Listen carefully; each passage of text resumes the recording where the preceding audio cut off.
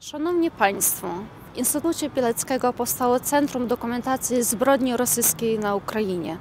Zachęcamy wszystkich chętnych, osób dobrej woli, świadków tych tragicznych wydarzeń, osób, które doznały agresji rosyjskiej i, i mogą złożyć swoje relacje do bazy danych, która będzie uformowana w repozytorium centrum.